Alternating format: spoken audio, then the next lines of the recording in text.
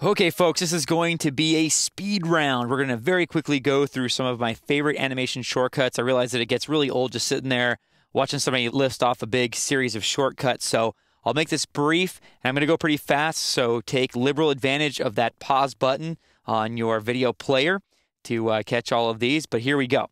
First up, one of the most important keyboard shortcuts there are is on the keyboard page down and page up. Page down will advance you one frame at a time.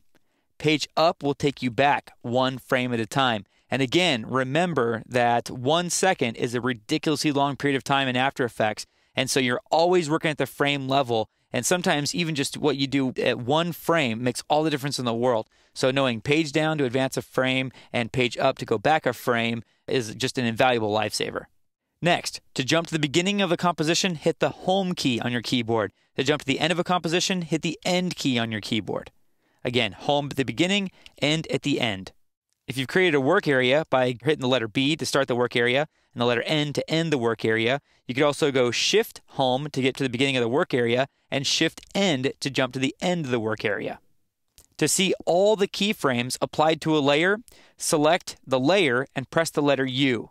This shows you all animated properties on the layer. If you want to see all properties that have been adjusted in any way, you can type UU.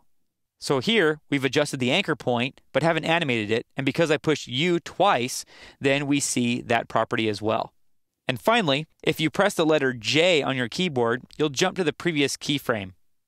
If you hit K, you'll go to the next keyframe.